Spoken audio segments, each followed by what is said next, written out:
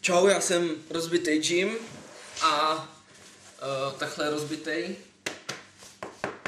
Mám sádru na noze a původně jsem vám chtěl vysvětlit, jak uh, udělat uh, triple backflip z místa, ale protože mám tu sádru na noze, tak to prostě nejde.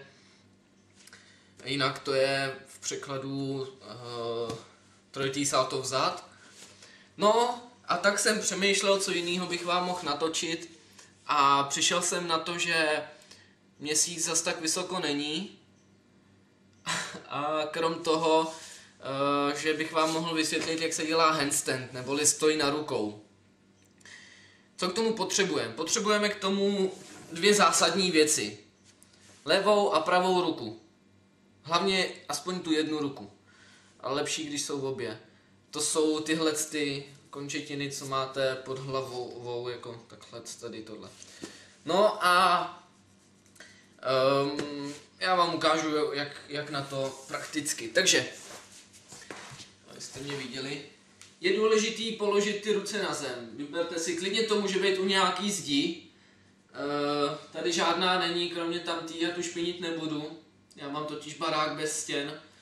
A A uh, důležitý je položit ty ruce na zem a teďka zadek táhnout nahoru nad uh, ty ruce. Takže takhle se překlopíme dopředu. Je to takový trošku obtížný, kdo není protáhaný. A teďka jednu nohu, nebo obě, to už je na vás, stoupneme s ní takhle na ty ruce. Na obě dvě. A máme handstand stoj na rukou a stojíme. A co nejdíl vydržíme? Čím díl vydržíme, tak tím kvalitnější handstand. Samozřejmě uh, je možnost i one handstand, což je stoj na jedné ruce. Na první pohled je to obtížnější, ale prakticky je to o mnoho lehčí, protože vlastně stojíte jenom na jedné ruce a druhou máte úplně volnou a můžete s ní se drbat třeba. Uh, tak, takhle.